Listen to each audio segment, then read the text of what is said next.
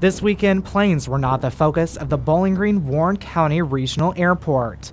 Instead, it was friends helping friends out.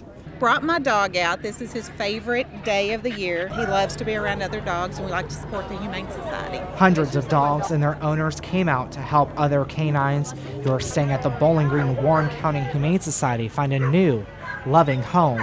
Dogs like Max need a home, and it's much better to adopt than to buy. All these wonderful dogs out here with the yellow bandanas need a home. This one is just what I consider a little piece of heaven with all the dogs and the people, and they just know the day is about them.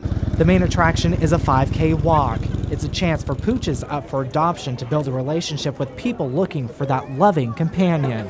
There's so many nice dogs out there that uh, that need homes. All of the dogs that we have have always been dogs that we've rescued from shelters. I know how much you pamper your own dog and you love your dog so much, so just giving that option to another dog. Tucker was um, a friend had him and was going to get rid of him, and he needed a home, so we took him. Organizers say the event is a success year after year. Even the last two years, which were cold, windy, and rainy, we still had a fantastic turnout. So you know the love is here in this community. And that love helped eight of the 35 dogs who participated in this year's walk find a home. In Bowling Green, Trent Brock, News Channel 12.